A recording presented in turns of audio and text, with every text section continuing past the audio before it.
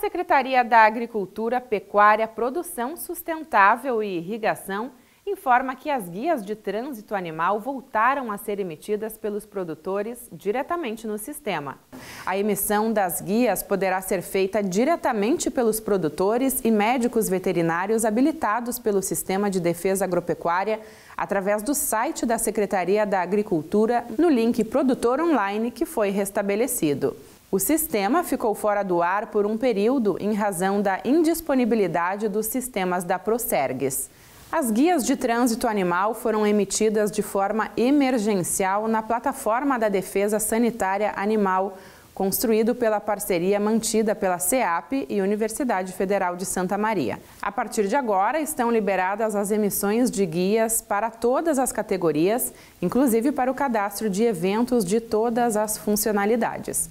Nesse primeiro momento, não será solicitado o prazo mínimo para o cadastro.